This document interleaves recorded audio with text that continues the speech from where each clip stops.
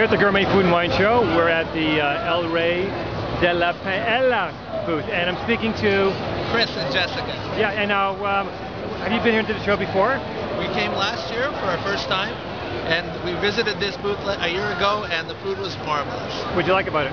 With oh, very fresh, very unique, uh, and, and and great portions. Okay, and uh, how do you like it today? What are they, bit, every bit is good. This is our first visit today, so this is our immediate first stop. what are, you, what are they serving? Uh, we got Chicken paella. Chicken paella, and how do you like that? It's wonderful. What do you like about it? Oh, its mouthfeel is wonderful.